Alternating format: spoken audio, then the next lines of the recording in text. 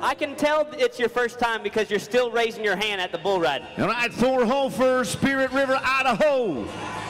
Oh, keep riding.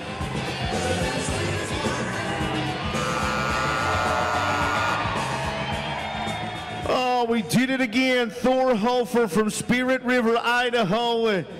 In Flying Fours, Finning Overhaul, that little black souped up spinner. I will tell you what, that is what we are here to do tonight. I mean, ride rank bulls, and Thor Hoefer does exactly that. As he weathers the eight second storm, how about a brand new number one? Thor Hoefer, 85 and a half points.